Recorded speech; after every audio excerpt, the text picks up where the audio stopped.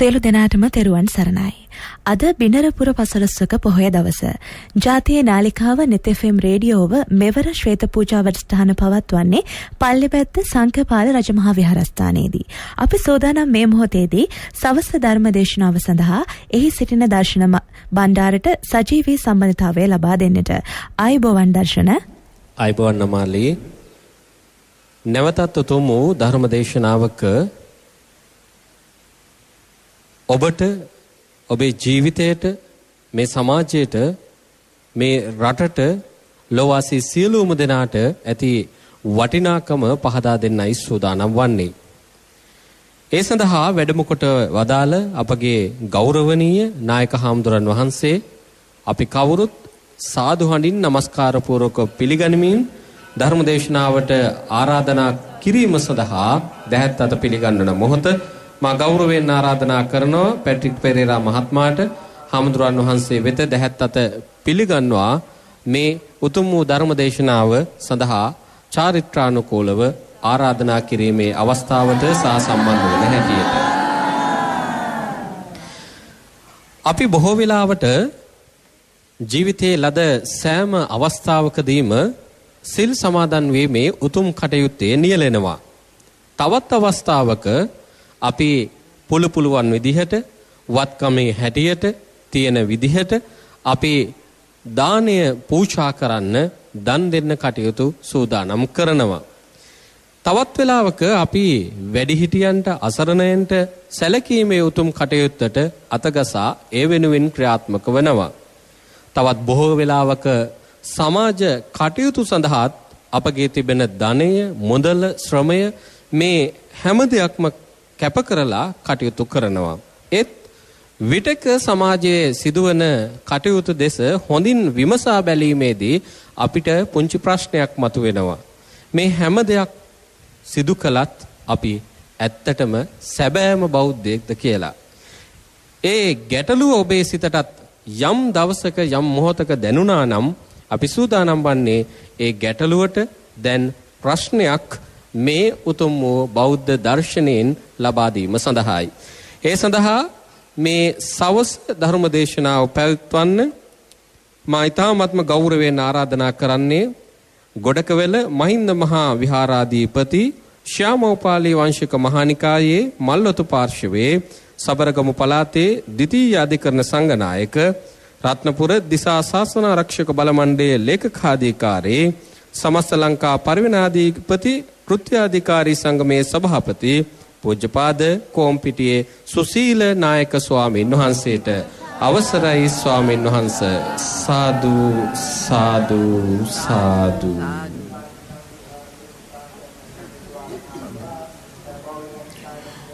සමන්ත චක්කවාලේසු අත්‍රා ගච්ඡන්තු දේවතා සද්ධම්මං මුනි රාජස් සුනන්තු සග්ග මොක්කදං ධම්මස්සවන කාලු අයං භදන්තා ධම්මස්සවන කාලු අයං භදන්තා ධම්මස්සවන කාලු අයං භදන්තා නමෝ තස් භගවතු අරහතු සම්මා සංබුද්දස්ස නමෝ තස් භගවතු අරහතු සම්මා සංබුද්දස්ස නමෝ තස් භගවතු අරහතු සම්මා සංබුද්ධස්ස යතෝ කෝ මහානාම බුද්ධං සරණං ගතෝ හෝති ධම්මං සරණං ගතෝ හෝති සංඝං සරණං ගතෝ තියත්තාවතාකෝ මහානාම උපාසකෝ හෝති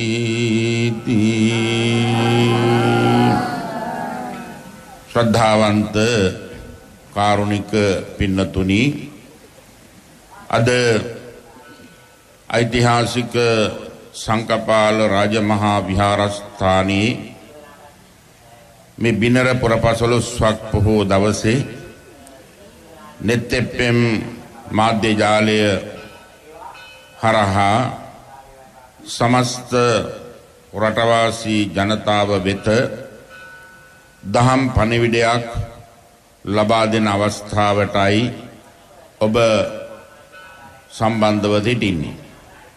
පොහෝදා පෙහෙවස් සමාදන් වූ පිරිසත් එවැගේම වන්දනමානවලට සහභාගි වෙන පිරිසත් මේ ධර්ම ශ්‍රවණය තුලින් අපේ ජීවිතය දහම් දැනුමින් පෝෂණය කරගෙන දැහැමි දීපවෙතක් ගත කරන්නට පින්වත් ජීවිතයක් ගත කරන්නට මේ ධර්ම දේශනාව මහෝපකාරී වෙනවා කියලා අපි හිතනවා. නෙත් එෆ්එම් මාධ්‍ය ජාලය හැමදාම සදහන් පණිවිඩ ලබා දීමට සෑම 15ක පොයේ දවසකම රටේ කොහේ හරි ඉඳන් ඒ උතුම් සදහම් පණිවිඩ ලබා දෙන බව අපි දන්නවා. අද ඓතිහාසික රංගපාල රාජමහා විහාර භූමියටයි නෙත්තෙම්බෙම් ආයතනයේ අවධානය යොමු කරලා තිබෙන්නේ. ඓතිහාසික සංකපාල රාජමහා විහාරස්ථානය ශ්‍රී ලංකාවේ රත්නපුර හම්බන්තොට මහා මාර්ගයට මුහුණලා පල්ලෙබැද්ද පුරවරේ පිහිටලා තිබෙන ඓතිහාසික සිද්ධස්ථානයක්. එදා බුස්ස දේව ඒ දසමහා යෝධයින්ගෙන් එක් අයෙකු වන අපේ ඉතිහාසයේ කීර්තිමත් නාමයක් දරපු එතුමාගේ යුගයේ කරා ඉතිහාසයේ ගමන් කරන දුටුගැමුණු යුගයේ කරා ඉතිහාසයේ ගමන් කරන ඓතිහාසික සිද්ධස්ථානයක්. මේ සිද්ධස්ථානය ශ්‍රී ලංකා වාසී කාටත් ගිමන්හලක් නවාතැම්පලක් විවේක ස්ථානයක් වන්දනමාන කරන ස්ථානයක් හැටියට අපේ සපරගමියේ වැදගත් පූජනීය ස්ථානයක් හැටියට සඳහන් කරන්න පුළුවන්. ඒ වගේම මෙම විහාරාධිපතිව වැඩ ඉඳලා අපවත් වී වදාළ අතුඩාවේ ශ්‍රී ගුණරතනා විධාන නායක හාමුදුරුව අතුඩාවේ චන්දසිරි නායක හාමුදුරුව මිරිස්සල්පත රතනසිරි හාමුදුරුව ආදී කොට ඇති ඒ විහාරයේ වැඩ ඉඳලා අපවත් වී වදාළ නායක ස්වාමීන්ද්‍රයන් වහන්සේලාගෙන් අමිල මෙහෙවරක් මේ විහාරස්ථානයටත් පලාතටත් සිද්ධ වෙලා තිබෙනවා.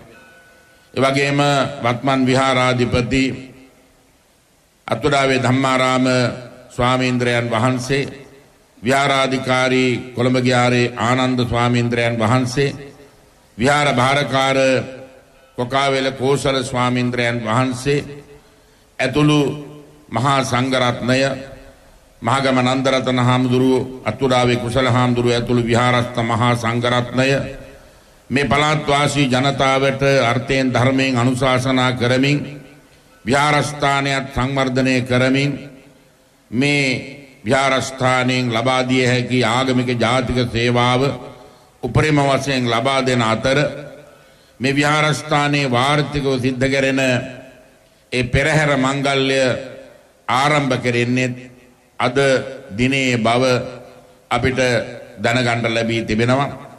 එයත් මේ පළාත්වාසී ජනතාවට ආශීර්වාදාත්මක පෙරහැර මංගල්‍යයක් කියන එක අපි සඳහන් කරන්නට ඕනේ. අද දින මේ ධර්ම දේශනාවේදී මා පැහැදිලි කර දෙන්න බලාපොරොත්තු වන්නේ අපේ තථාගත සම්මා සම්බුදුරජාණන් වහන්සේ මහානාම ශාක්‍ය තුමාට දේශනා කරපු දේශනාවක් ඇතුරෙන් බෞද්ධ උපාසකයා කියන්නේ කවුද උපාසිකාව කියන්නේ කවුද කියන මේ හැඳින්වීම ලබා දෙන්නටයි බලාපොරොත්තු වෙන්නේ. මේ උපාසක උපාසිකා කියන වචන දෙක අපේ සම්බුද්ධ ශාසනයේ තියෙන ඊටාම ගෞරවනීය වචන දෙකක්. මේ සම්බුද්ධ ශාසනය පවත්වාගෙන ආපු සිව්වනක් පිරිසේ වගකිය යුතු කණ්ඩායම් දෙකක් තමයි උපාසක උපාසිකා කියලා කියන්නේ. සම්බුද්ධ ශාසනය පවත්වාගෙන ඒමේදී ප්‍රත්‍ය දායකත්වය සිව්පස උපස්ථාන දායකත්වය ලබලා තියෙන්නේ උපාසක උපාසිකා කණ්ඩායමයි. භික්ෂු භික්ෂුණී කියන මේ කණ්ඩායම් දෙක ධර්ම විනය හදාරලා ධර්ම විනය ආරක්ෂා කරගෙන ජනතාවට අර්ථයෙන් ධර්මයෙන් අනුශාසනා කරනකොට මේ උපාසක උපාසිකා පිරිස තමයි උන්වහන්සේලාට ශිවපසෙන් අප උපස්ථාන කරමින් ඒ කටයුතු කරගන්නට ශක්තිය ධෛර්යය ලබා දීලා තියෙන්නේ එදා ඉඳලම. ඒ වගේම මේ විහාරස්ථාන ගොඩනැගිලා තියෙන්නේ ඔබේ ආධාර උපකාර මත ඔබේ ධන පරිත්‍යාග ඔබේ සිව්පස පරිත්‍යාග මේවා ඊ타මත්ම වැදගත් වෙනවා ශාසනය පවත්වාගෙන යන්නට. ඒ නිසා අපි නමින් උපාසක උපාසිකා කිව්වට බුදුහාමුදුරුවෝ මේ උපාසක කියන නමට අර්ථ විග්‍රහයක් කරලා තියෙනවා. මේ මහා නාම ශාක්‍ය එදා බුදුරජාණන් වහන්සේ කපිලවස්තු නගරයේ නිග්‍රෝධාරාමේ වැඩවාසය කරන අවස්ථාවේදී මහානාම ශාක්‍යතුමා බුදුහාමුදුරු ළඟට ගිහිල්ලා සතුරු ස්වාමීජියේ යෙදෙමින් ඉන්න අවස්ථාවේදී උන්වහන්සේගෙන් ප්‍රශ්නයක් අහනවා චිත්තාවතානුකෝ භන්තේ උපාසකෝ හෝතීති බුදුරජාණන් වහන්ස උපාසකයෙක් වෙන්න කරුණු මොනවද කියලා උන්වහන්සේගෙන් මේ ශාක්‍යතුමා අහලා තියෙනවා. ඒ අහපු වෙලාවේ බුදුරජාණන් වහන්සේ ඊට දීපු පිළිතුර තමයි මා මාතෘකා වශයෙන් මතක් කරන්නට යෙදුනේ යතෝකෝ මහා නාම බුද්ධං සරණං ගතෝ හෝති ධම්මං සරණං ගතෝ හෝති සංඝං සරණං ගතෝ හෝති එත්තාවතා කෝ මහා නාම උපාසකෝ හෝති කියන උත්තරය තමයි බුදුහාමුදුරුවෝ ලබා දීලා තියෙන්නේ. යම් කෙනෙක් බුද්ධ රත්නය සරණ යනවා නම් ධර්ම රත්නය සරණ යනවා නම් සංඝ රත්නය සරණ යනවා නම් ඔහු තමයි උපාසක කියලා කියන්නේ. බුද්ධ රත්නය ධර්ම රත්නය සංඝ රත්නය සරණ යාම. මේක බුද්ධං සරණං ගච්ඡාමි ධම්මං සරණං ගච්ඡාමි සංඝං සරණං ගච්ඡාමි කියලා නමට එහෙම නැත්නම් කියවන විට කියවීම පමණක් නෙවෙයි. බුද්ධ රත්නයේ පිළිබඳව මනා අවබෝධයකින් යුක්තව බුදුහාමුදුරුවෝ කියන්නේ කවුද කියලා මනා අවබෝධ ඥානයෙන් යුක්තව මේ ගුණාංගයන්ගෙන් පරිපූර්ණ වූ තථාගත සම්මා සම්බුදුරජාණන් වහන්සේ මම සරණ යනවා කියන අදහසින් යුක්තවයි අපි බුද්ධං සරණං ගච්ඡාමි කියලා කියන්නට ඕන. එදා බුදුහාමුදුරුව මහණ උපසම්පදාව පවා ලබා දීලා තියෙන්නේ මේ බුද්ධං සරණං ගච්ඡාමි කියන මේ පාඨයෙන් මුල් අවදියේදී. ඒ තුලින් අංග සම්පූර්ණ පැවිද්දෙක් උපසම්පදාලාභියෙක් බවට පත්වෙච්ච අවස්ථාව මේ ශාසනයේ මුලම ඉතිහාසය තුළ අපිට දකින්න ලැබෙනවා. බුද්ධ කියන වචනය එහෙම නැත්නම් බුදුරජාණන් වහන්සේ කියලා අපි කියනවා බුදුහාමුදුරුවන්ට. මේ බුද්ධ කියන වචනය දෙමව්පියන්ගෙන් පරම්පරාවෙන් ආපු නමක් නෙවෙයි. ඒක අවබෝධ කරගත් උතුමානන් කියන අර්ථයයි තියෙන්නේ. අවබෝධ කරගත්ත උතුමානන් කියන එකයි. මොනවද අවබෝධ කළේ? චතුරාර්ය සත්‍ය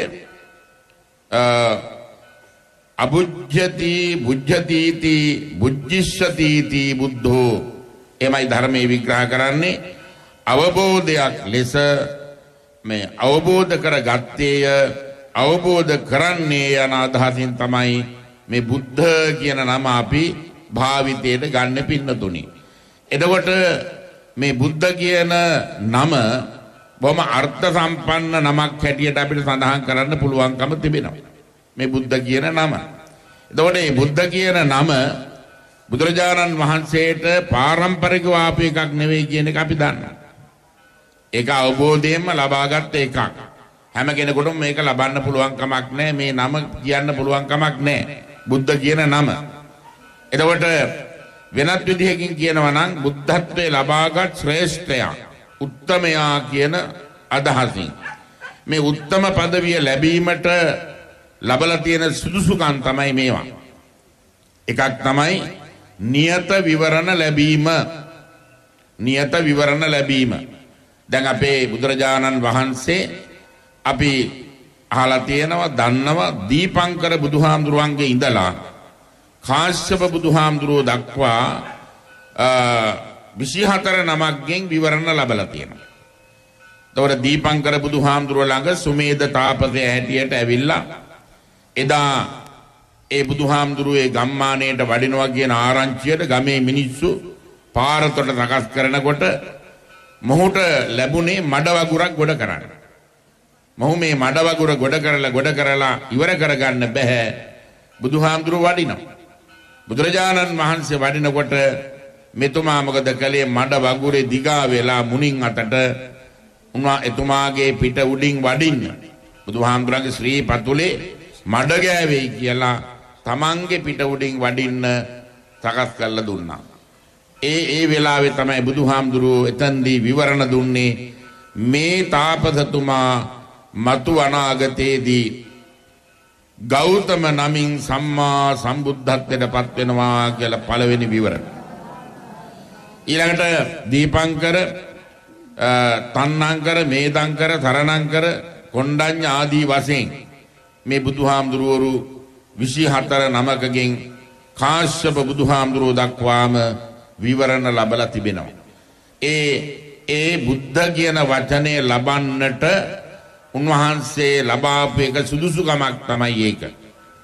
එකක් ධර්ම අවබෝධය අනිත් එක නියත විවරණ ලැබීම.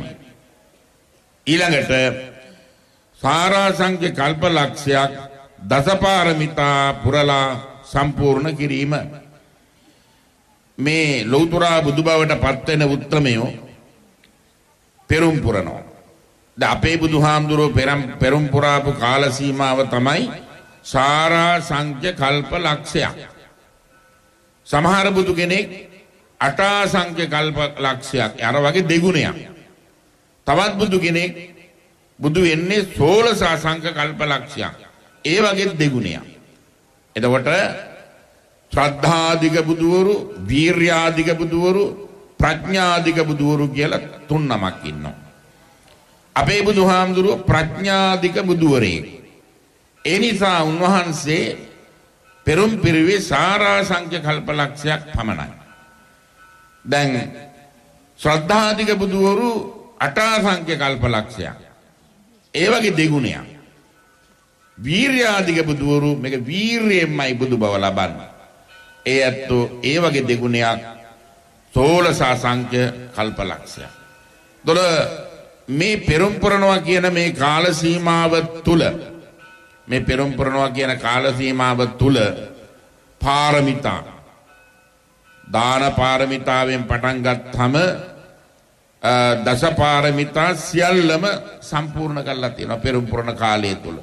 ඒ කාලය තුල Taman සන්තකදේ ඇස්සිස් මස්ලේ අඹදරුවන් මේ තවත් කෙනෙකුට දෙන්න බැරි බම දුර්ලභ දේ පවා දීපු උත්තමයෙක් තමයි මේ බෝසතාණන් කියලා කියන්නේ. බුදු කෙනෙක් කියලා කියන්නේ. ඒ නිසා සාරා සංඛ්‍ය කල්ප ලක්ෂයක් පෙරුම්දම් පුරලා ලබා ගන්නා වූ උත්තම පදවිය තමයි බුද්ධ කියලා කියන්නේ.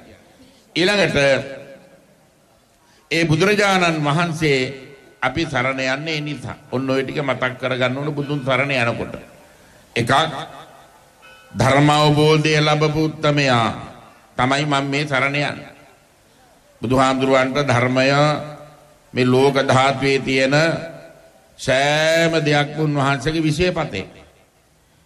උන්වහන්සේගේ දේශනාවට යටත් නොවූ දෙයක් නැහැ. අද විද්‍යාවෙන් සොයාගන්නා වූ සෑම දෙයක්ම උන්වහන්සේගේ දේශනාව තුළ තියෙනවා. මේ ග්‍රහලෝක පිළිබඳව මේ මහපොළොව පිළිබඳව අව්ව වැස්ස සුළඟ පිළිබඳව අපර නොපෙනෙන ජීවී වස්තු පිළිබඳව මේ සෑම දෙයක් පිළිබඳව උන්වහන්සේට පුදුම තරම් ඒ සර්වඥතා ඥාණයෙන් ඒවා දැකලා තියෙනවා. ඒ නිසා බුද්ධ දේශනාවට ඒ සියල්ලම යටත් ඒ අවබෝධය ලබාපු උත්තමයා තමයි මම මේ බුද්ධං සරණං ගච්ඡාමි කියලා සරණ යන්නේ කියලා අන්න එහෙම සරණ යාම තමයි උපාසකයෙක් වෙන්න හේතු වෙන්නේ. ඒ වගේම අනිත් එක තමයි නියත විවරණ ලැබීම දෙවෙනි එක. මේ බුදුවරු 24 නමක්ගෙන් නියත විවරණ ලබලා සම්මා සම්බුද්ධත්වයට පත්වෙච්ච උත්තමයා තමයි මම මේ සරණ යන්නේ කියන හැඟීමෙන් සරණ යාම. ඊළඟට සාරාසංඛ්‍ය කල්ප ලක්ෂයක් පෙරුම්දම් පුරලා ඇස්සිස් මස්ලේ අඹදරු දන් දීලා සම්මා සම්බුද්ධත්වයට පත්වෙච්ච බුදුරජාණන් වහන්සේ තමයි මම මේ බුද්ධං සරණං ගච්ඡාමි කියලා සරණ යන්නේ කියලා අපේ හැඟීම තියෙන්න ඕන. එතකොට ඒ බුදුහාමුදුරුව පිළිබඳව. එතකොට බුදුරජාණන් වහන්සේ අපි සරණ යන්නේ ඔන්න ඔය විදියට ඔහොම සරණ ගියාම තමයි උපාසකෙක් බවට පත් වෙන්නේ. නැත්නම් වඩ පිට බලවක් ඔයා බල බල බුදුහාමුදුරුවෝ කියනකොට ඔයා අපි කියන බුද්ධන් තරණං ගච්ඡාමි කියලා. එහෙම කිව්වට වැඩක් නැහැ. මේ අටසිල් සමාදන් වෙන ආපුවාම අපි নমස්කාරය කියලා හැම බුදුහාමුදුරුවෝ සරණ යනකොට ওই ටික මතක් වෙන්න ඕන. ওই ටික මතක් වෙලා මම මේ විදිහටයි මේ බුදුහාමුදුරුවෝ සරණ යන්නේ. තව පැත්තක් තියෙනවා. බුදුරජාණන් වහන්සේ මහා කරුණිකයි. දා බුදුන් සරණ ගිය දවස ඉඳලා මම කරුණාවෙන් වැඩ කරන කෙනෙක් වෙනවා. බුදුහාමුදුරුව පරිත්‍යාගශීලී මහා දන් දීපු උත්තමේ මම පරිත්‍යාගශීලීෙක් වෙනවා. බුදුරජාණන් වහන්සේ සීලයෙන් අගතැන්පත් මම සිල්වතෙක් වෙනවා. බුදුරජාණන් වහන්සේ ඉවසිලිවන්ත බවින් අගතැන්පත් මම ඉවසිලිවන්තයෙක් වෙනවා. බුදුරජාණන් වහන්සේ අටලෝ දහමින් කම්පා නොයිච්ච උත්තමේ මම අටලෝ දහමින් කම්පා නොවෙනවා. මේ ගුණධර්ම ටික ගන්න ඕන අප උපාසකයෙක් හැටියට. ඒවයින් කම්පා නොවී ඉන්න ඕන. අනේපිලි සිරිතුමා බුදුහාමුදුරුවෝ සරණ යනකොට එතුමාගේ ජීවිතය තුළ ඕවා තිබුණානේ. එතුමා මේ සියල්ල අවබෝධ කරගෙන උපාසක තත්ත්වයටපත් උනේ. මේ මහානාම ශාක්‍ය උපාසක තත්ත්වයටපත් උනේ. බිම්බිසාර රජතුමා උපාසක තත්ත්වයටපත් උනේ. විශාකා මහෝපාසිකා උපාසිකා තත්ත්වයටපත් උනේ. ඒ ඇත්තන්ගේ ගුණය කොච්චරද මහා විශාල පළල් ගුණාංගයන්ගෙන් සමන්විතයි. ඒ ඒ අඩිපාරේ යන උපාසක උපාසිකා පිරිසක් බවට පත් වෙනවා නම් ඊටාම හොඳයි. ඊළඟට අපි බලමු ධම්මං සරණං ගච්ඡාමි. ධම්මං සරණං ගච්ඡාමි කියනකොට බුදුහාමුදුරෝ දේශනා කරනවා මේ ධර්මය බුදුහාමුදුරුව බොහෝම අමාරුවෙන් පෙරුම් පුරලා අවබෝධ කරගත්ත දෙයක් මේ ධර්මය කියලා කියන්නේ. ධර්මය සුත්ත ගෙය්‍ය වෙయ్యාකරණ ආදී වශයෙන් මේ ධර්මය කොටස් වශයෙන් අපිට අවබෝධ කරගන්න තියෙනවා. බුදුහාමුදුරුව දේශනා කරපු ධර්මය. එතකොට පර්යාප්ති ප්‍රතිවේද ප්‍රතිපත්ති කියලා අපිට තියෙනවා කොටස් මේක අවබෝධ කරගන්න පර්යාප්ති කියලා කියන්නේ සූත්‍ර විනය අභිධර්මය. බුදුහාමුදුරුව දේශනා කරපු මේ දේශනාවේ සූත්‍ර දේශනා කොටසක් පළවෙනි ධර්ම සංගායනාවේදී වෙන් කළා තිබ්බා. ඒ වගේම විනය කොටසක් වෙන් කළා. අභිධර්ම පිටකය කියලා කොටසක් වෙන් කළා. මේ සූත්‍ර විනය අභිධර්ම යන මේ කොටස් තුනට අපි කියනවා පර්යාප්ති ධර්මය කියලා. ඒ වගේම ප්‍රතිපත්ති ධර්මය කියලා කියනවා සීලාදී ගුණධර්ම වැඩිම තමයි ප්‍රතිපත්ති. අපි ප්‍රතිපත්ති වශයෙන් රකින්නේ ඒකනේ.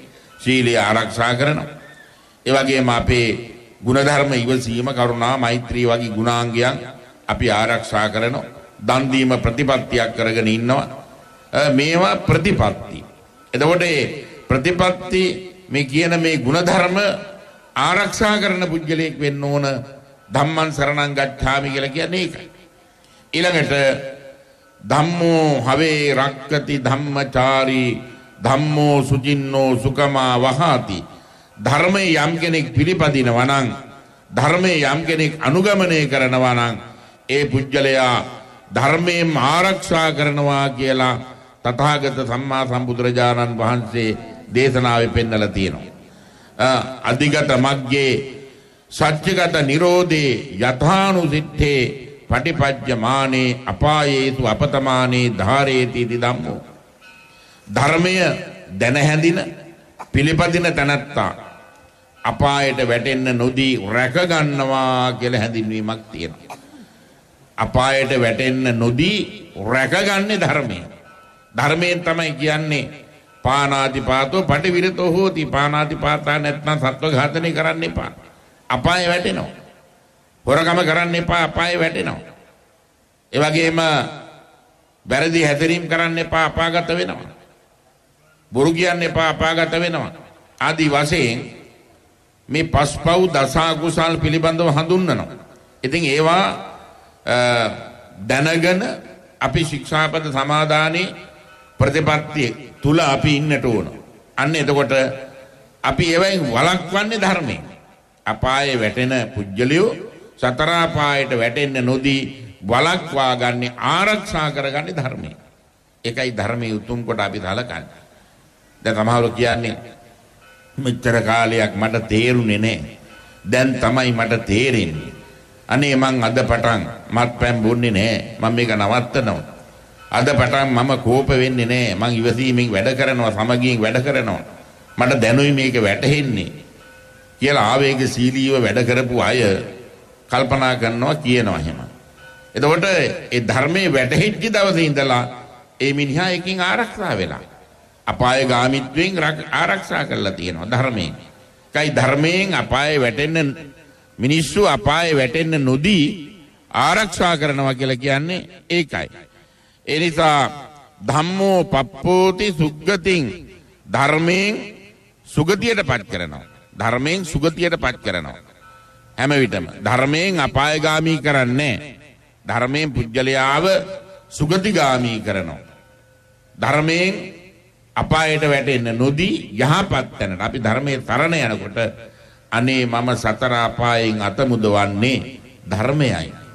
ඒ නිසා ධර්මය මම රකින්නවා මං ආරක්ෂා කරනවා. ධර්මයේ මං අනුගමනය කරනවා. ධර්මානුකූලව මම සරණ යනවා කියන අදහසින් තමයි ධම්මං සරණං ගච්ඡාමි කියලා අපි සමාදන් වෙන්නට ඕන. සරණ යන්නට ඕන. ඊළඟට පින්නතුනි සංඝ තුන්වෙනි එක තමයි සංඝ කියලා කියන්නේ. මේ බුදුහාමුදුරුවෝ පෙන්වා වදාළ ධර්ම මාර්ගය ජීවිතයෙන් ආරක්ෂා කරන රකින්න සමාජය තමයි භික්ෂු සමාජය. ඒතර මේ භික්ෂු සමාජය තමයි සංඝ රත්නය කියලා අපි කියන්නේ. සංසාර භයං ඉක්තදීති භික්ඛු සසර බිය දකින්නේ කෙනා තමයි භික්ෂුව කියලා හඳුන්වන්නේ. සසර බිය දකින උත්තමයා භික්ෂුව. එතකොට මේ සසර බිය අපි දැකලා ඒ මතුලින් භික්ෂුවක් බවට පත් වෙලා ඒ භික්ෂුන් වහන්සේලා අපිට අවවාද අනුශාසනා ලබා දෙනවා. ඒ නිසා අපි සරියුත් මුගලන් සංඝයාත ගරුතර මහා සංඝරත්නය අපි දොහොත් මුදුන් දී নমස්කාර කරනවා සංඝං සරණං ගච්ඡාමි කියලා. දැන් බුද්ධ ධම්ම සංඝ කියන තුනුරුවන් පිළිබඳවම ඔයත්ව අවබෝධයක් ලැබුවා. ඊළඟට අපි බලමු මේ සරණාගමනය කියන්නේ මොකක්ද කියලා. සරණාගමනය. තෙරුවන් කෙරෙහි පැහැදීම, තෙරුවන්ට ගරු කිරීම කියන එක තමයි සරණාගමනය කියලා කියන්නේ. එතකොට ඒකේ කොටස් තුනක් දක්වනවා. එකක් ආත්ම සම්නිර්යාතය ආත්ම සම්නිර්යාත සරණාගමනය. අද පටන් මට ඇති එකම පිහිට සැනසුම මේ තුනුරුවන් පමණයි යන අදහසින් සරණ යාම තමයි ආත්ම සම්නිර්යාත සරණාගමනය කියලා කියන්නේ. අද පටන් මට ඇති එකම පිහිට සැනසුම මේ තෙරුවන් පමණයි කියන අදහසින් සරණ යාම. මාගේ ආත්මය තුනුරුවන්ට පූජා වේවා කියන අදහසින් සරණ යාම තමයි ආත්ම සම්නිර්යාත සරණාගමනය කියලා හඳුන්වන්නේ. එතකොට අපි ආත්ම සම්නිර්යාතය කියන එක හොඳට තේරුම් ගන්න. මට අද පටන් ඇති එකම පිහිට තුනුරුවන්. ඒ නිසා තුනුරුවන්ගේ පිහිටයි. කියලා ප්‍රාර්ථනා කිරීම තමයි අපේ දවසේ කියමන. උදේ පාන්දර අවදි වෙච්ච ගමන් තමන්ගේ ගෙදර ඉන්න ඇත්තන්ට ස්වාමියාගෙන් බිරිඳට දවසේ මුලින්ම පිට වෙන්න ඕන වචනේ තමයි තෙරුවන් සරණයි. තුනුරුවන්ගේ පිහිටයි. බිරිඳගෙනුත් ස්වාමියාට ප්‍රකාශ වෙන්න ඕන ඉස්සල්ලාම තුනුරුවන්ගේ පිහිටයි. මව්පියන්ගෙන් ඉස්සල්ලාම දරුවන්ට අවදි වෙච්ච ගමන්ම ප්‍රකාශ වෙන්න ඕන තුනුරුවන්ගේ පිහිටයි. දරුවන්ගෙනු ප්‍රකාශ වෙන්න ඕන තුනුරුවන්ගේ පිහිටයි. ඊට පස්සේ කිව්වට කමක් නැහැ සුබ උදෑසන කියලා කිව්වට කමක් නැහැ. ඉස්සල්ලාම කියෙන්න ඕන මේකයි. තුන්රුවන්ගේ පිහිටයි තාත්තේ සුබ උදෑසන. තුන්රුවන්ගේ පිහිටයි අම්මේ සුබ උදෑසන. තුන්රුවන්ගේ පිහිටයි මහත්තයෝ සුබ උදෑසන. තුන්රුවන්ගේ පිහිටයි නෝනා නැත්තම් බිරිඳ මොකක් හරි ගෙදර කියන නමක් ඇතිනි කියලා සුබ උදෑසනයි. ඒක තමයි මුලට එන්න ඕන බෞද්ධයාගේ ලංකාවේ හැම දෙනාගෙම බෞද්ධ ජනතාවගේ දවසේ මුල්ම ප්‍රකාශනය වෙන්න ඕන මහ පොළොවේ පය ගහන්න ඕන තුනුරුවන්ගේ පිහිටයි කියාගෙන.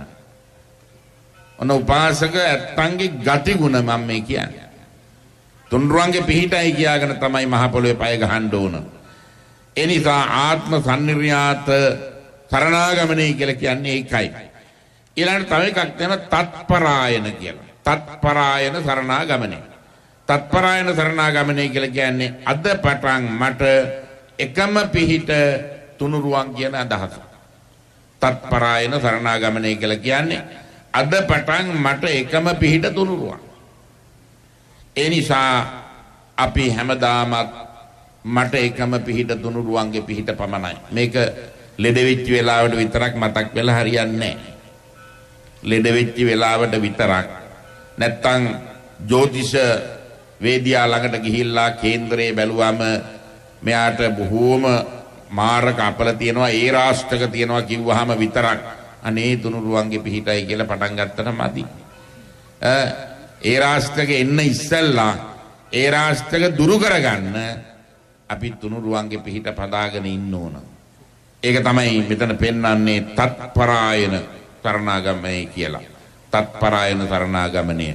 මට එකම පිහිට තුනුරුවන්. නත්ති මේ සරණං අඤ්ඤං බුද්ධෝ මේ සරණං බරං. මට බුදු සරණ හැර වෙන සරණක් නැත. නත්ති මේ සරණං අඤ්ඤං ධම්මෝ මේ සරණං බරං. මට ධර්ම රත්නේ සරණ හැර වෙන සරණක් නැහැ. නත්ති මේ සරණං අඤ්ඤං සංඝෝ මේ සරණං බරං. මට සංඝ රත්නේ සරණ හැර වෙන සරණක් නැහැ. පිරිත් මණ්ඩපයක් ඉස්සරහා ඉන්නකොට පිරිත් අහන්න ගිහිල්ලා වාඩි වුණාම ඕක තමයි හිතේ තියාගෙන ඉන්න ඕන. අර පිරිත් නූල අතට ගන්නකොටම ඔබ හිතන්න ඕන මගේ අතට මේ වැඩියේ තුනුරුවන්. නූල් පොටවල් තුනක් තියෙනවනේ ඒක.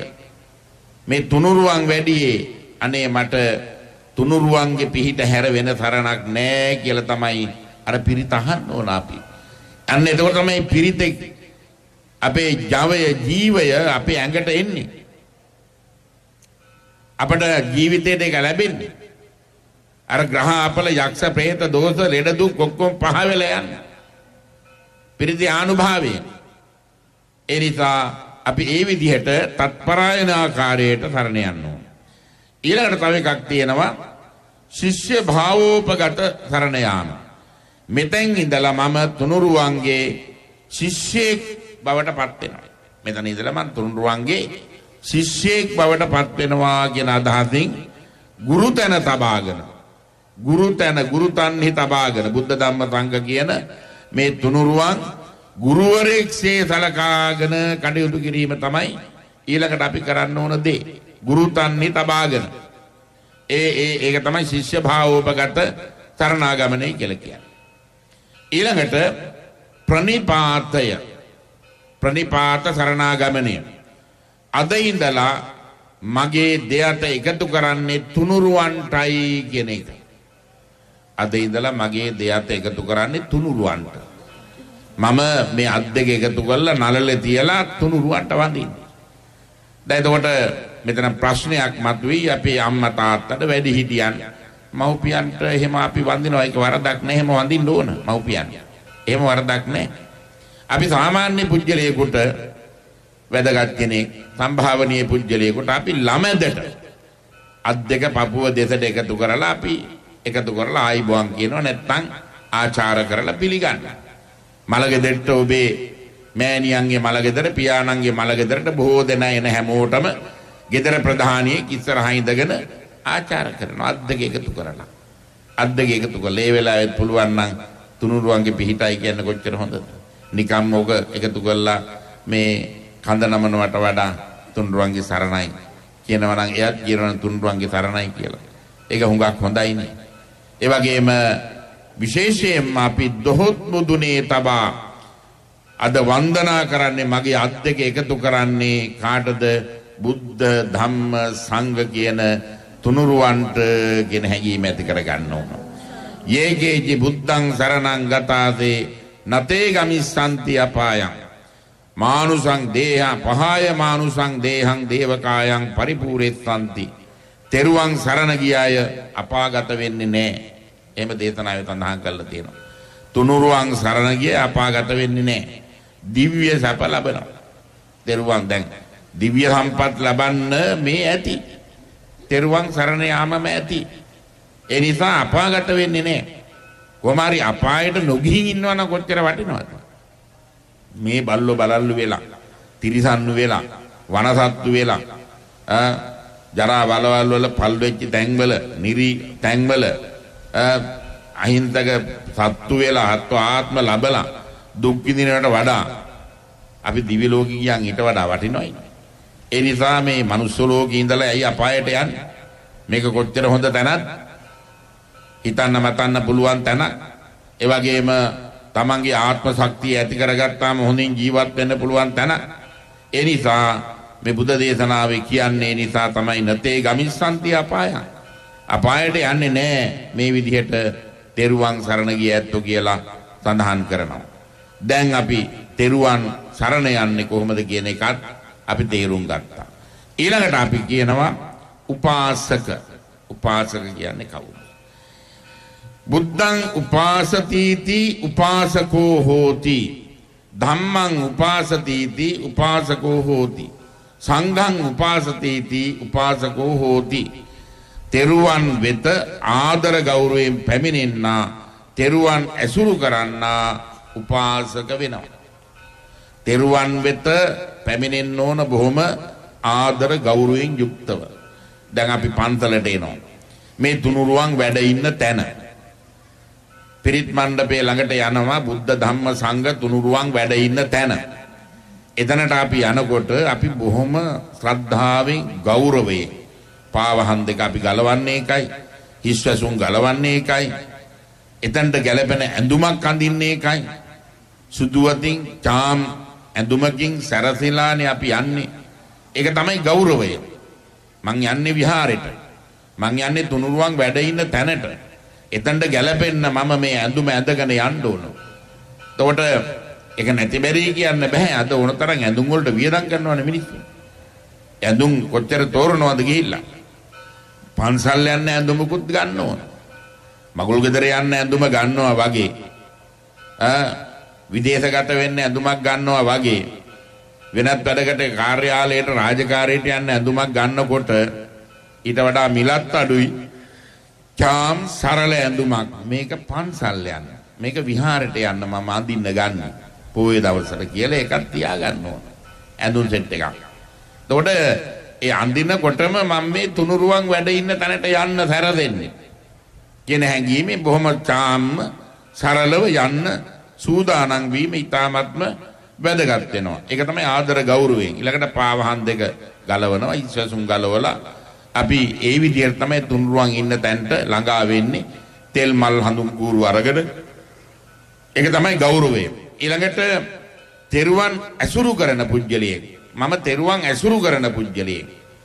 මං හැමදාම බුදුහාමුදුරුව ඇසුරු කරනවා.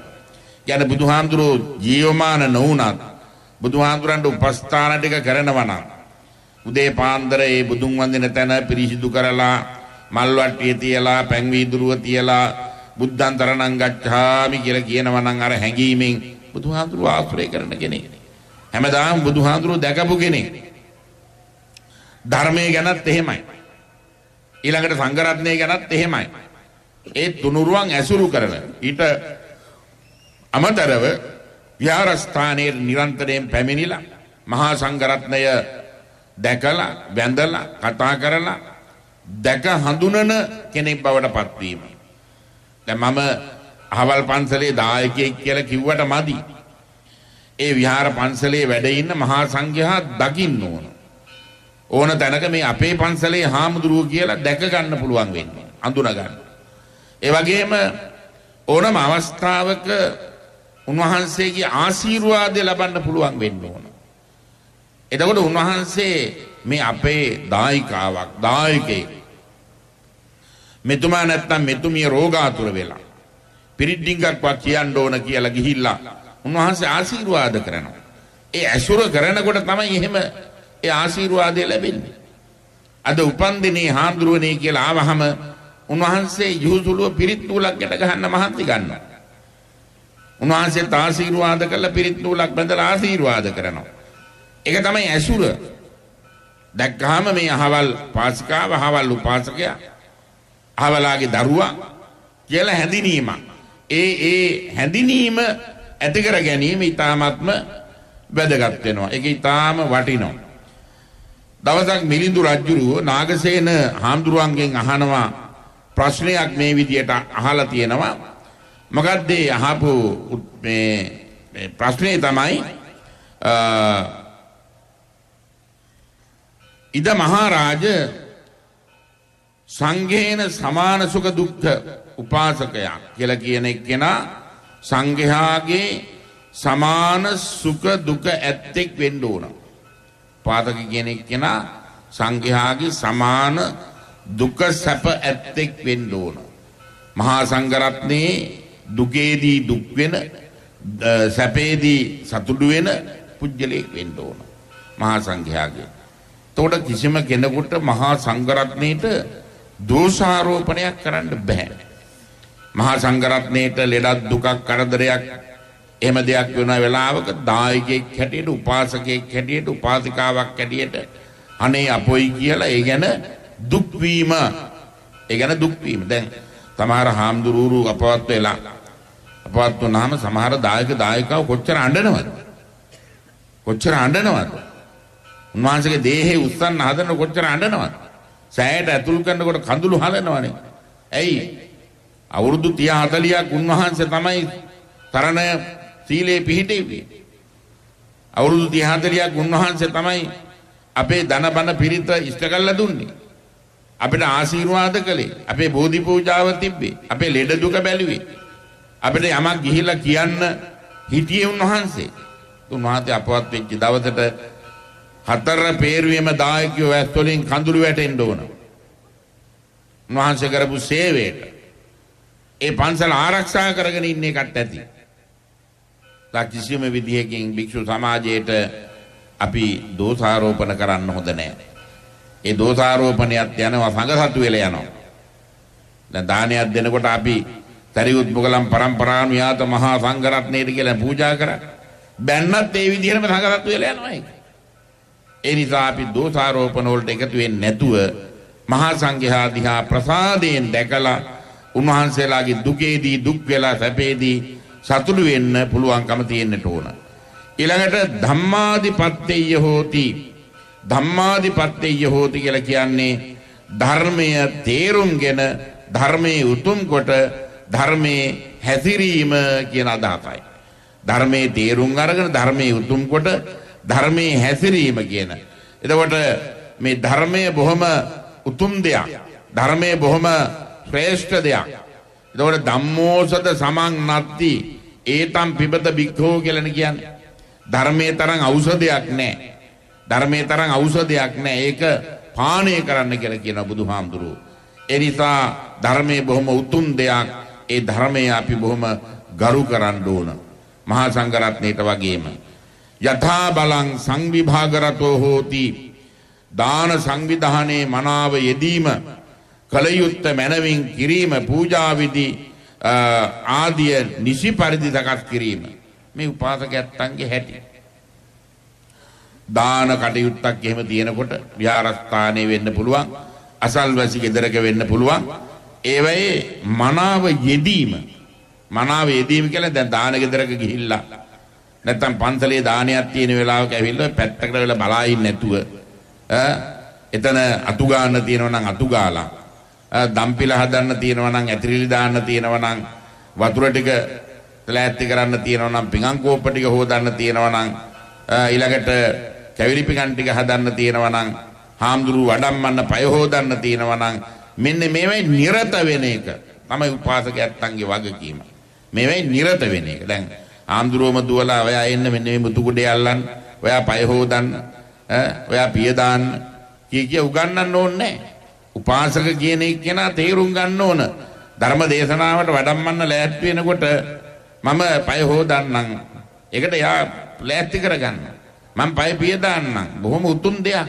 ධර්මදේශකයන් වහන්සේගේ පය හොදන එක කොච්චර වටිනවද? ධර්මදේශකයන් වහන්සේට මුතු කුඩයක් අල්ලන එක කොච්චර වටිනවද? ඒ වගේම පිරිත් දේශනාවට වැඩම කරන මහා සංඝරත්නයේ පය හොදන එක කොච්චර උතුම් දෙයක්ද?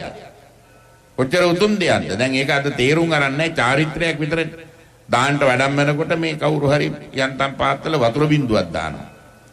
හාමුදුරන් ගගුලට වතුර බින්දුවක් දානවා. ඔය පය හේදිල්ලක්ද? නෑ. උපාසක මහත්තයා එහෙම නෙවෙයි.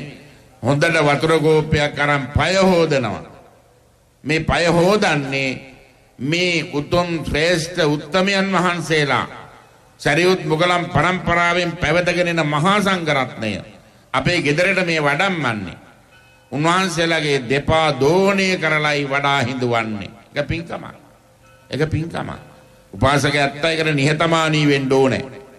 මේක ලොකු කුඩා ભેදයක් නැහැ මෙතන. බොහොම නිහතමානී වෙන්න ඕනේ.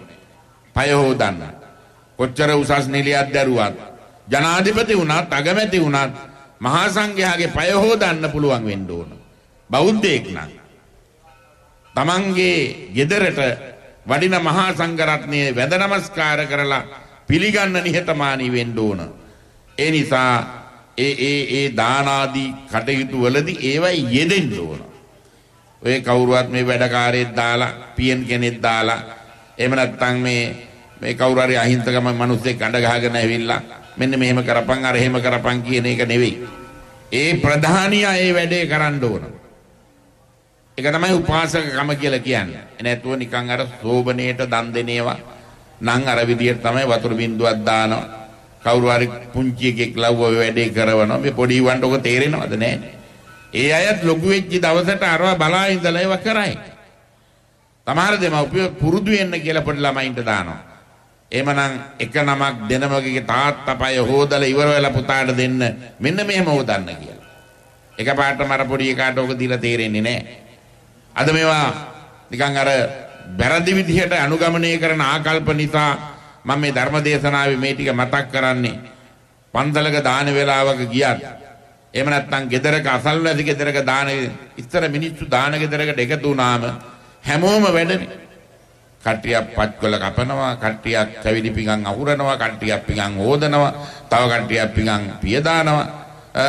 මොකවාම වැඩි වැඩක් නැත්තම් එයා මොකද කරන්නේ? කෙහෙල් ගෙඩි ටික අරන් අගමුල කපලා තියෙනවා. කෙහෙල් ගෙඩි ටික අරන් අගමුල කපුවා. අගමුල කැපුවත් එකයි නැතත් එකයි.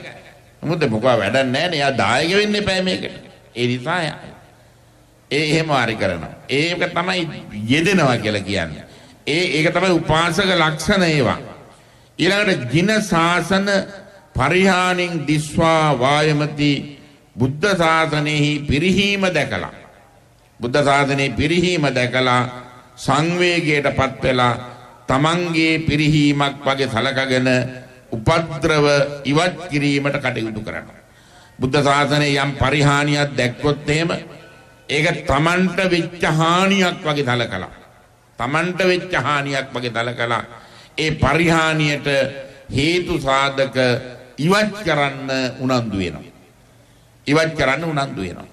සාසනික වශයෙන් පරිහානියක් දැක්කන් එහෙම අවස්ථාවක් ආවොත් දැන් මේ බණ කිය කිය ඉන්නකොට මෙතනට එනවා සමහරට ඔළුව නරක් වෙච්ච මිනිස්සු. ඇවිල්ලා මේ මිනිස්සු හතර වටේ කෑකෝ ගහන්න පටන් ගත්තා. හොඳ උපාදක මහතුරු දෙන්නේ තුන් දෙනෙක් එකතු වෙලා මේ මිනිස්සු හිමින්තරේ අරගෙන යනවා පැත්තකට. ඒ අනතුර වැළැක්වුවානේ. ඒ අනතුර වැළැක්වුවා. ධර්මයට වෙන්න ගිය අනතුර. සංඝරත්නයට වෙන්න ගිය අනතුර. බණහන ඇත්තන්ට වෙන්න ගිය අනතුර වළක්වනවා. පොඩි ළමෙක් කෑ ගැහුවා. ඒ ළමයා වඩාගෙන ඉක්මනින් අයින් වෙනවා බණ කියන තැන. ඒ අනතුර වළක්වන. මොකද මේ ධර්මය සවන් දෙන තැන. මේ ධර්මයේ සවන් දීමට අනතුරක් ඒක. ඒක අපි ඉක්මනින් ඉවත් කරනවා ඒ අනතුර. ඒ වගේ සාසනික වශයෙන් විහාරස්ථානයකට වෙන්න පුළුවන්. තුනුරුවන්ට වෙන්න පුළුවන්. මොකක් හෝ ඒ වගේ අනතුරක් වෙන්න යනකොට මේක Tamanට වෙච්ච දෙයක් හැටියට දැන් දල්දා මාලිගාවට බෝම්බ ගහපු වෙලාවේ කී දහහක් මිනිස්සු ඇඬුවද? මේ රටේ. කී දහහක් මිනිස්සු ඇඬුවද? මේ බුදුහාඳුරන්ටනේ මේ බෝම්බ ගැහුවේ. කොච්චර ඇඬුවද මිනිස්සු? ප්‍රේමා බෝධීන් වහන්සේට වෙඩි තියපු වෙලාවේ කොච්චර මිනිස්සු ඇඬුවද? ජීවිතයක් වගේ පරිසංකරණ එකක් නේ ප්‍රේමා බෝධීන් වහන්සේ.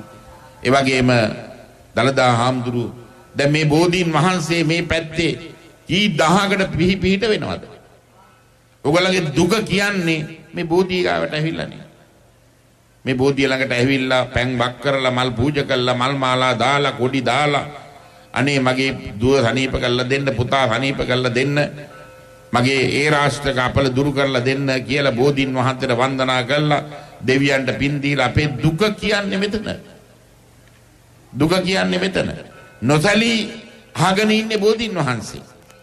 ඒකනේ බුදුහාමුදුරුවෝ බුද්ධත්වයේ ලබාපු ගමම්ම මට අවුවෙන් වැස්සෙන් පින්නෙන් සෙවන ලබා දීලා මගේ තනි නොතනියට මට ආරක්ෂාව ලබා දුන්නේ බෝධීන් වහන්සේ.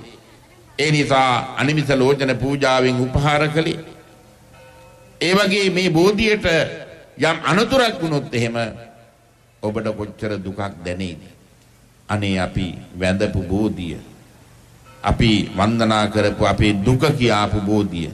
ඒ වගේ මේ බුද්ධ ශාසනයේ විහාරාංගවලට තුනුරුවන්ට ශාසනික වශයෙන් දැන් ධර්මයේ විකෘති කර කර කතා කරන කතාවක් මේ කාලේ තියෙනවා. මේ ධර්මය විකෘති කරලා කවුරු හරි කතා කරනකොට අපිට දැනෙන්න ඕන සංවේගයක්. අපි hina වෙලා හරියන්නේ නැහැ. දැන් පෞගේ කාලේ කතන්දරයක් ආරංචි වුණා නිර්වස්ත්‍රම් පරමං සුඛං කියලා. නිර්වස්ත්‍රෝ ඉන්න එක පරම සැපයි කියලා. මේ අධර්මවාදී මතය, මිත්‍යා මතය. අපි ඒකට hina වෙලා හරියන්නේ අපි අනේ අපොයි මේක මහා විපත්තියක්. මොකද්ද මේ කරන්නේ? ආ නිබ්බානම් පරමං සුඛං කියලා දේශනා කරපු බුද්ධ වචනේට හානියක්. කියලා අපි වේදනාවෙන් දැකලා වහාම ඒවා ඉවත් කරන්න කටයුතු කරන්න ඕන. වහාම ඉවත් කරන්න කටයුතු කරන්න ඕන. ඒ නිසා බුද්ධ ශාසනයට යම් කරදරයක් විපත්තියක් පිරිහීමක් දැක්කොත් තමන්ගේ පිරිහීමක් වගේ සැලකලා ඒකෙන් බේරාගෙන කටයුතු කිරීම තමයි ඊටාම වටින්නේ. ඊළඟට සම්මාදිට්ඨිකෝ හෝතු මංගලිකෝ තමන් කළ හොඳ නරක අනුව ඵල විපාක ලැබීම හැර වෙනත් ආකාරයකින් ප්‍රතිවිපාක ලැබෙන්නේ නැහැ කියන විශ්වාසය අපි ගාව තියෙන්න ඕන. තමන් කරපු හොඳ නරක වල අනුව තමයි අපිට ඒවැයි ඵල විපාක ලැබෙන්නේ. තමන් යමක් හොඳ දෙයක් කළොත් හොඳ විපාක ලැබෙනවා. නරක දෙයක් කළොත් නරක විපාක ලැබෙනවා. කර්මඵල විශ්වාසය. නැතුව අදෘශ්‍යමාන නොපෙනෙන දෙවියෙකුගේ බලවේගයක් නෙමෙයි. තමන් කළ කර්ම මේ ආත්මේ හෝ පෙර ආත්මවල කළ කර්ම අපිට විපාක දෙනවා. ඒව නවත්තන්න පුළුවන් කමක් නැහැ. ඒ නිසා පුණ්‍ය ඵල විපාක විශ්වාස කිරීම උපාසක ඇත්තන්ගේ ලක්ෂණයක්. උපාසක ලක්ෂණ ඒවා. කර්මය කර්මඵලයේ විශ්වාස කරන්න ඕන හොඳට. ඒක හොඳට මතක තබා ගන්න. කර්මයේ කර්මඵලයේ විශ්වාස කරලා ජීවත් වෙන්න. කවුරු හරි කියනවා නම් අනේ ඔයයි ඇති වැඩක් නැහැ, පව්පින් කියලා જાතියක් නැහැ. ඔය මරුණයින් පස්සේ ඕන දිහාක ගියාවේ අනේ මක් කියනවද? ඒවට රැවටෙන්න එපා. ඒවට රැවටෙන්න එපා. ඒ අදහස් ගරු කරන්න එපා. නෑ මම නරක වැඩක් කළොත් මට විපාක විඳින්න සිද්ධ වෙනවා. මම හොඳ වැඩක් කළොත් මට හොඳ විපාක විඳින්න සිද්ධ වෙනවා කියන කර්මඵල විශ්වාසය තියෙනවා නම් එයා තමයි උපාසක කියලා කියන්නේ.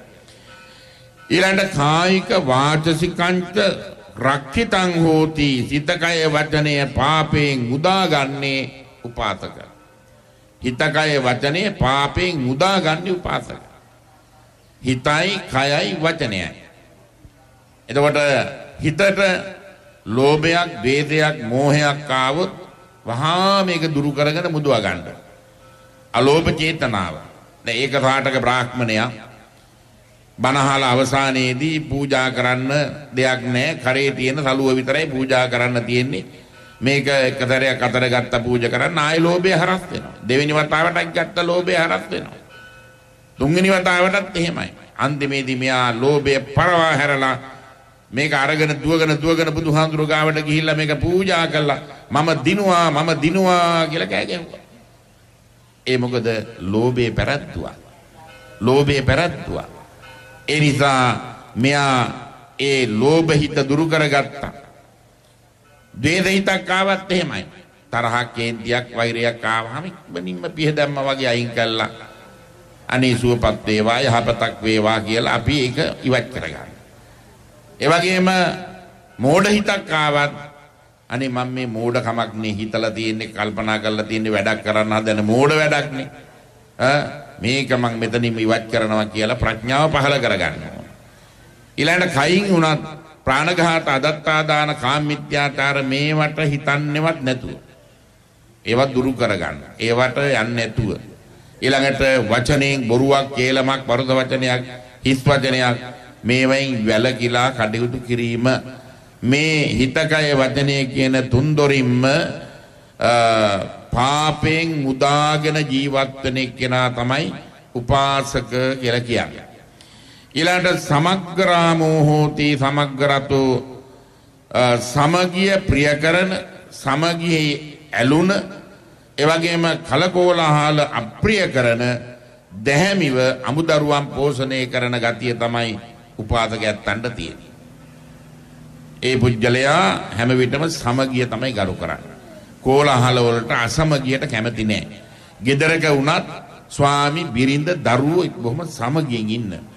බොහොම සමගියෙන් ඉවසීමෙන් පොඩි කේන්තියක් ගියත් ඉක්මනින් මේක ඉවර කරගන්න. බොහොම සමගියෙන් ඉන්න.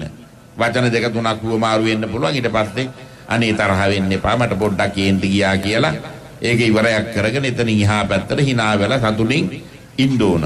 ඒක ඉවර කරගෙන. දරුවොත් එක්කත් ඒ විදිහයි. අසල්වාසින් එක්කත් ඒ විදිහයි. ඒ නිසා කෝලාහල අප්‍රිය කරන පුජ්‍යලයක් බවට පත් වෙන්න ඕන. උපාසකයාගේ ලක්ෂණයක්. එයා ගැටෙන්න කැමති නෑ. කලකෝලාහල කරගන්න කැමති නෑ. එයා නිතරම තමන් සාමකාමීත්වයෙන් ජීවත් වෙන්න තමයි කැමති. ඒ පුජ්‍යලයා කිසිම විදියකින් කලකෝලාහල කරගෙන ඉන්න කැමති වෙන්නේ නෑ.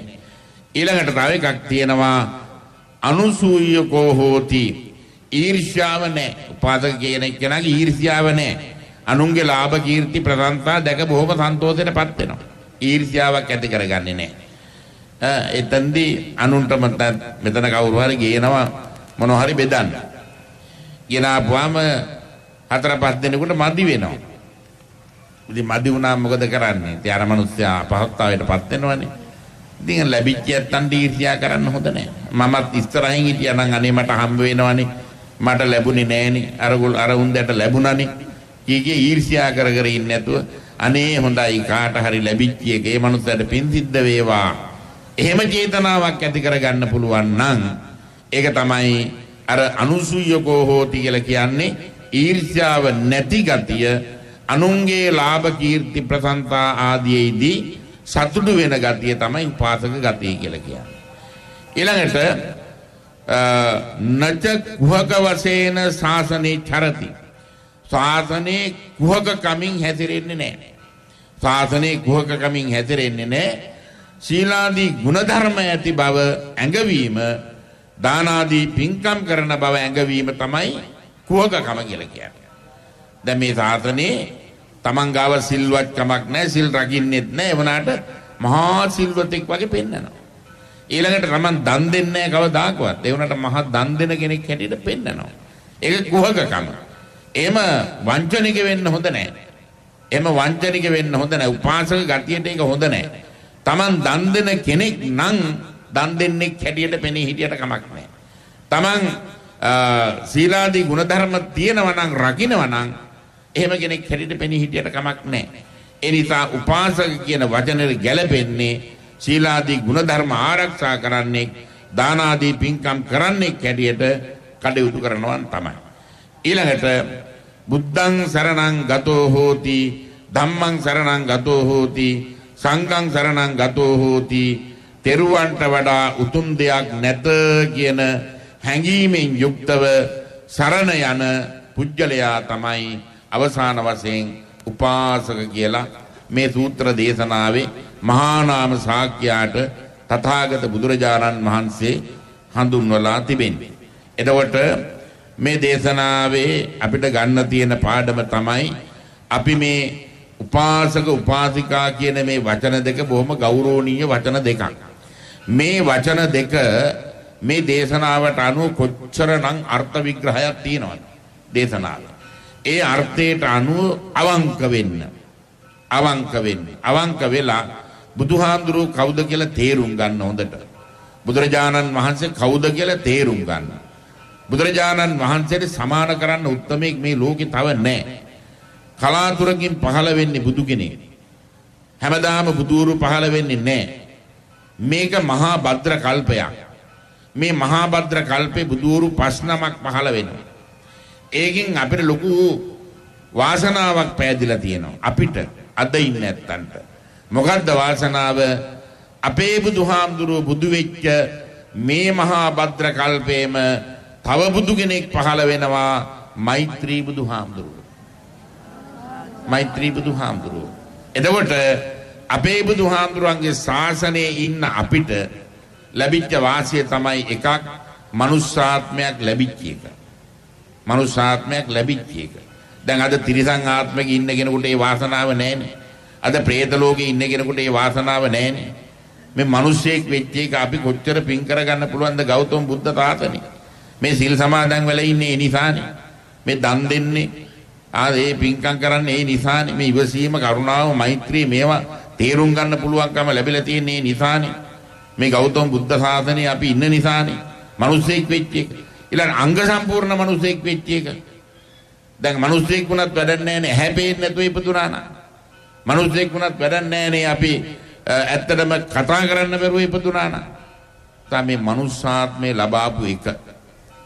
ඒ වගේම මේ බුද්ධ ශාසනයේ තියෙන කාලේ ජීවමාන කාලේ තුනුරුවන් වැඩ ඉන්න කාලේ ඒ වගේම තුනුරුවන් වැඩ ඉන්න දලදා හාමුදුරු වැඩ ඉන්න ජයශ්‍රී මා බෝධින් වහන්සේ වැඩ ඉන්න ලංකාවේ ඉපදිච්ච එක.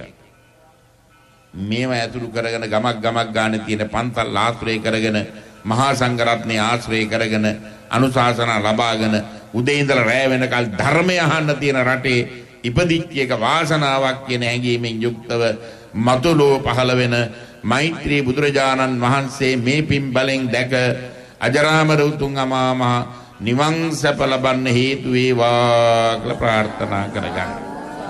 එමනම් මේ අවස්ථාවේ අපි ධර්ම ශ්‍රවණය කළා ලබාගත්තා වූ පින්දහම් ලෝකපාලක දෙවි දේවතාවන්ට මේ ස්ථාන බෝධි අධිග්‍රහිත දෙවියන්ට පින් අනුමෝදන් වේවා දෙවියෝ ප්‍රාර්ථනීය බෝධියකින් නිවන් දකිත්වා දෙවියන්ගේ ආශිර්වාදයේ ආරක්ෂාව අපට හැම කල්ලිම ලැබේවා කියලා දෙවියන්ට පින් අනුමෝදන් කරන්න සාදුකාරයක් දීලා. ඒ වගේම මේ විහාරස්ථානයේ වැඩ ඉඳලා අපවත් වී වදාළ අතුඩාවේ ගුණරත්න නායක හාමුදුරුව අතුඩාවේ චන්දසිරි නායක හාමුදුරුව මිරිස්වැල්පත රතනසිරි හාමුදුරුව ඇතුළු විහාරගණයේ අපවත් වී වදාළ මහා සංඝරත්නයටත් මේ සංඝපාල විහාරස්ථානයේ දායකත්වයේ දරාගෙන ඉඳලා මිය පරලෝකීය සියලුම ප්‍රාණකාරයින්ටත් ඒ වගේම අපේ රට දැය වෙනුවෙන් සටන් කරලා යුද පිටියේදී මිය පරලෝකීය සියලුම රණවිරුවන්ටත් මේ පින් අනුමෝදන් වේවා. ඒ හැමදෙනාම සසර දුකින් අත මිදෙත්වා. අමා මහ නිවන් දකිත්වා කියලා සාදුකාරයක් දීලා පින් දෙන්න. ඒ වගේම ඔබ හැම දෙනාටම තුනුරුවන්ගේ පිහිටෙන් සියලු දෙවියන්ගේ ආශිර්වාදයෙන් නිදුක් නිරෝගී සම්පන්නිය ලැබේවා දීර්ඝායු සම්පන්නිය ලැබේවා.